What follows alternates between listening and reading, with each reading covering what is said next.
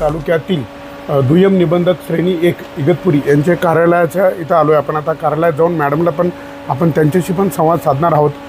की घडलं असं की ह्या आजीला ती मला गेल्या चार पाच दिवसापासून फोन करते. तिच्यावरती अन्याय होतोय. तिच्या तिची फसवणूक करण्याचा प्रयत्न घडला. परंतु निबंधक मॅडमनी त्यांना विचारलं आणि ते विचारलं म्हणून त्यांच्या लक्षात आलं आणि त्या इथून पळून गेल्या. आणि पळून गेल्यानंतर हे काय घडलं आपण सगळं त्यांच्याकडनं जाणून घेऊ. आजी काय झालं? तुमचं नाव काय? माझं नाव अनुसाहेबाई लक्ष्मण बोडके. बरं कुठले आहे तुम्ही? वडाळ बरं मग काय घडलं? मला घडलं मुलगा मला काय म्हणलं इरेची समिती दी तर मी काय म्हणले बाबा इरेची समिती पण माझं क्षेत्र आहे हे काय तुला मिळणार नाही. मला तो म्हणलं तुझं काही मला घ्यायचं नाही. हां. मला काही करायचं नाही. पण मला ईर आली सरकारी म्हणून मग मला चाल. मला पण आधार कार्ड नेलं फोटो नेलं. आणि मला इथं आणलं. इथं आणलं तर आपला वकील आहे आमचा तारगे. वकील ते आलं. एक इलास आयर सरपंच नामदेव सरपंचाचा मुलगा आहे. त्याने मला इथं आणलं. तिथं माझ्या रूमामध्ये कागद त्याने तिकडून आणलं.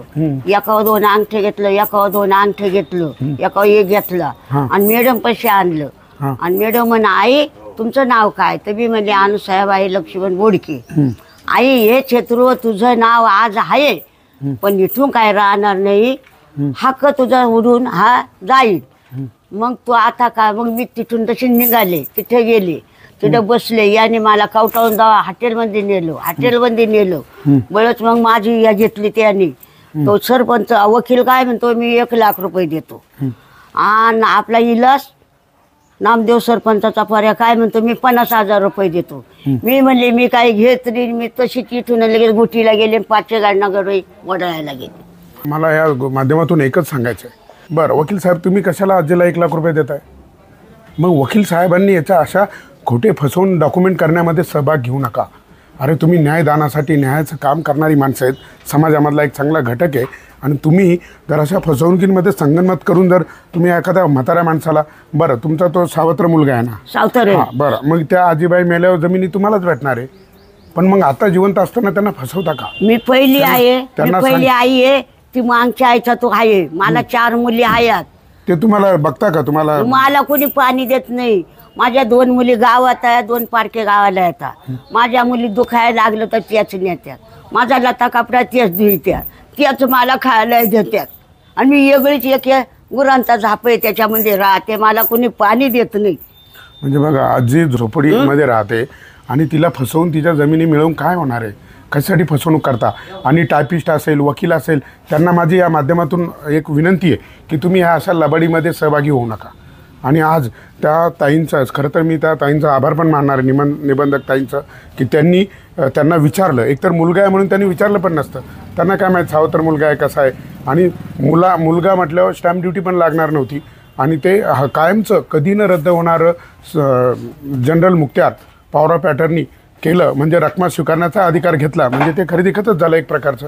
आणि मग यांना यांच्यावर तो अन्याय झाला असता आज एक अन्याय होता होता वाचला तो मॅडमच्या सावधगिरीमुळे किंवा त्यांनी विचारल्यामुळे. आपण मॅडमशी पण संवाद साधू. या आजी. या ये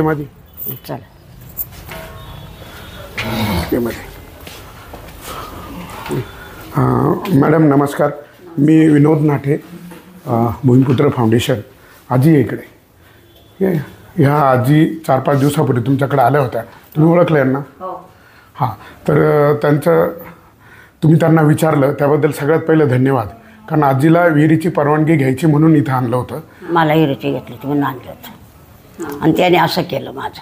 कुठं? इथं काय डॉक्युमेंट बनवत होते ते? ते मुक्त्यापत्र करत होते. मध्ये असं लिहिलं होतं की ही जमीन विक्री करण्याचे अधिकार आजी त्यांच्या मुलाला देत आहे त्यांच्या मुलाला देत आहे. हा त्यांच्या मुलाला देत आहे. सगळं. म्हणजे? खरेदी खताच्या वेळेला आजीची आवश्यकता नसणार. नसती लागली. म्हणजे ते कोणालाही विकून टाकू शकले असते परस्पर. करणार होता. हा परस्पर त्यांनी मुलाने आजीच्या वतीने विकून टाकलं असतं. हा. आणि ते सर्व अ, आजीला ते मान्य करावं लागलं असतं. हो हो. म्हणजे आजीचा त्यावरील सगळा हक्क कायमचा जात होता. त्यानेच माझी आई बाई माय बहीण तिथं माहीत झाली.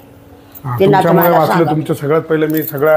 अ, सगळ्या शेतकऱ्यांच्या सगळ्यांच्या वतीने मी आभार मानतो पण ताई माझी एक विनंती आहे महाराष्ट्रामध्ये सगळीकडे असंख्य लोकांच्या फसवणुका होत आहे घरातून आणून डॉक्युमेंट काही सुशिक्षित लोकसुद्धा त्यांना वाचायला वकील लोक त्याच्यात सहभागी होत आहे आणि वकील लोक त्यांना ते वेगळे डॉक्युमेंट वाचायला देतात आणि नंतर इकडे तुमच्याकडे पेश करताना दुसरे डॉक्युमेंट पेश केले जातात. आणि इथे फक्त सह्या अंगठ्यांपुरतं त्यांना हे करतात. आणि नंतर तिथं काही चालत नाही. म्हणून माझी एक विनंती आहे यापुढे कुठलाही अधिकार सोडायचा असेल प्रॉपर्टी विक्री असेल तर तुम्ही त्यांना स्पष्ट शब्दात सांगितलं की तुझी ही एवढी एवढी जमीन आहे आणि आता ती तू या या माणसाला विकली आणि तुला एवढा एवढा मोबदला मिळाला आहे तुम्ही असं जर सांगितलं ताई खूप बरं होईल. हा मी सांगते ना. सगळ्यांना बक्षीसपत्र असू दे हक्क सोडपत्र असू दे. सगळ्यांना विचारून सांगते की तुम्ही असं करताय आणि हे असं होणार आहे त्याच्यामुळे. तुमची नावं सातबाऱ्यातून कमी होणार आहे. चालेल. धन्यवाद. धन्यवाद. चालेल. चला काय नाही काय काय झालं नाही. आपण त्या वकिलाला भेटू हां आजी. हा.